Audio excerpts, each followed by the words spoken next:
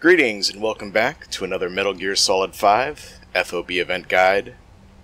The FOB for the next two weeks is going to be the Skulls Attack event, and that's going to last until July the 9th.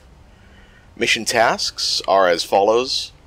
Neutralize three security guards, neutralize one security guard with missiles, Fulton three security guards, infiltrate successfully, infiltrate within 300 seconds or 5 minutes, infiltrate with equipment grade 5 or below, and infiltrate dressed in combat fatigues. So what we're going to be bringing today is the grade 4 Riot SMG. We're going to go ahead and attach the long magazine to that if you have it. We're also going to put on the improved stock. We're going to go ahead and put the grade 3 dot sight on there, or any dot sight. It really doesn't matter. It's up to preference. And normally we would put the flashlight laser module on something like this, but we're going to go ahead and keep that vertical foregrip on for just a little bit of extra stability. And I'm going to make it match my camo as usual. You do not need to do this. We're going to bring along a nice cheap assault rifle, and under most circumstances I would say you don't need to use it, but uh, you'll see what happens. We're also going to bring a cheap Grom 11 missile launcher too. Today we're going to be infiltrating the base development platform, and we're going to be dropping in at the default location.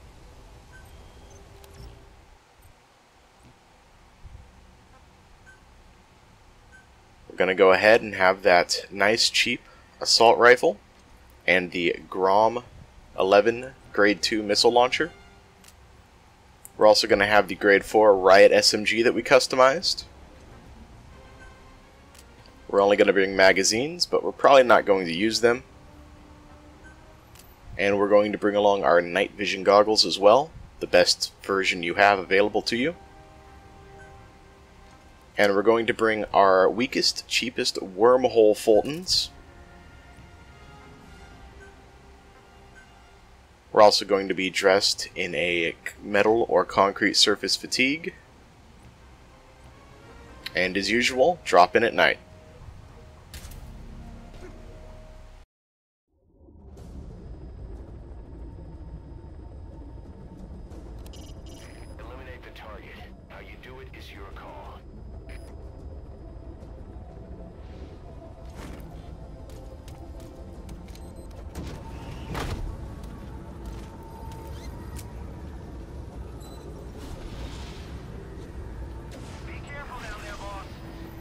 So from the start, I'm going to go ahead and Fulton this gun. Uh, as usual, if you're pressed for time, if your runs are coming up a few seconds too short, uh, you don't need to do that.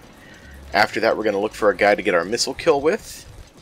And okay, looks like we got one right there. Uh, not many people out today. Hopefully they're all in back here.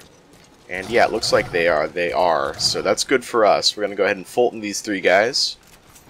Now after you get this last Fulton, you can go ahead and proceed up to the mortar for the cheese strategy, or you can stick around and Fulton these anti-aircraft guns. I'm going to do that because I've got plenty of time, but if you don't, just feel free to run up there. Don't put your run in jeopardy. Also, now's a good time to throw on your night vision goggles.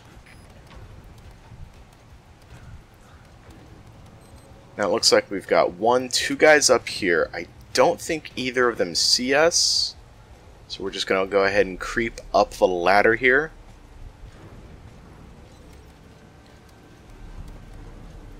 And we're going to go ahead and jump on the mortar. Position it uh, exactly where I've got it. And uh, once you start firing, don't stop. Just keep firing. I think I do it a little bit too slow here. And that should get all four of the skulls nice and dead. Okay, they're going to teleport back, and what is this? It looks like one of them slipped the net. Now, I have had this happen once or twice, and instead of doing everything perfect, I, I want to go ahead and show that it is possible to deal with one straggler if you've got it. Um, again, we've still got some shots for this Grom 11, and we've still got a nice, uh, cheap assault rifle, but still a decently effective assault rifle with us. Um, it's all about locating this guy. He doesn't have a lot of health. He did regenerate his armor. So, um, you'll see that these Grom 11 rounds don't really do a heck of a lot to him.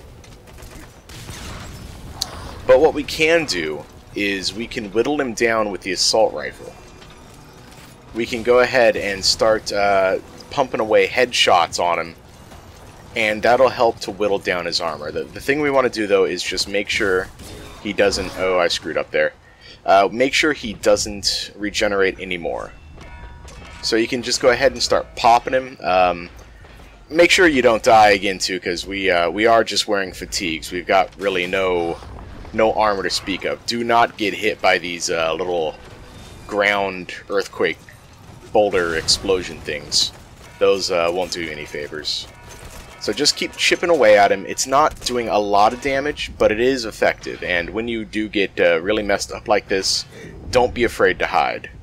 Um, you could always bring a better but still under grade 5 assault rifle. That'll do uh, more damage than what I have now, obviously and it's not a horrible strategy.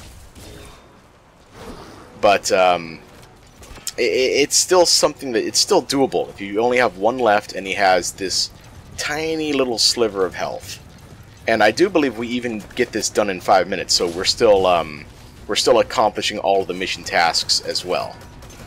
So just just keep chipping away at him, chipping, chipping, chipping away. Um, again, making sure you kind of keep an eye on your health, making sure that you don't get too messed up. We got a we got a good streak going here too. Um, if you ever do get shot too much, you can always try to run toward him. That'll cause him to teleport and stop shooting you for a second. So just gonna just gonna wait for him to get into a more opportune position. Sometimes he'll glitch out and just wander around up in that area, and there's really not much you can do. If you, if you go back up there, he'll start teleporting around again. I believe that's what's going to happen here. Yep, yep, see?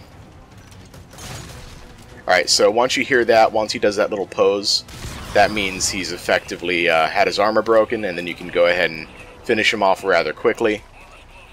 And, um, yeah, not the cleanest, but again, just showing that this is possible, showing that this is something that isn't going to completely ruin your run.